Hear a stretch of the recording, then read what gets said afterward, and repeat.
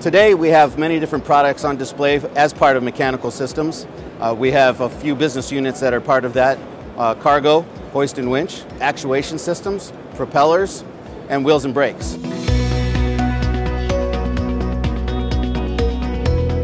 This is our uh, hoist uh, that is manufactured in both the US and in France. Uh, particular to this design, we have a translating drum design. It's high performance and continuous duty operations allows for a single point payout of the cable.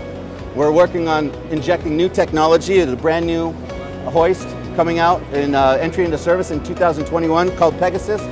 Additionally, we have what's on display here uh, is our propeller, part of the propeller systems. We, we manufacture propellers for commercial and, and uh, military products, specifically the C-130, A400M, and ATR.